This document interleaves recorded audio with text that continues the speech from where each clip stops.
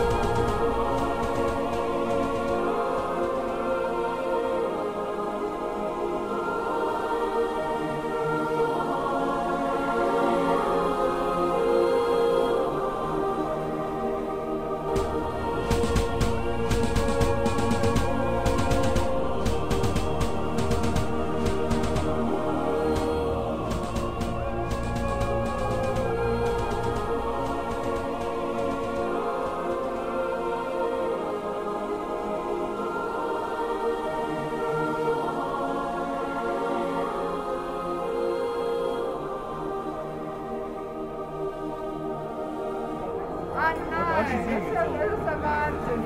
Herzlichen Glückwunsch. Da müssen wir jetzt aber mal ein Foto haben von diesem sportlichen Mann, der seinen Traumfahrer gerade gewonnen hat.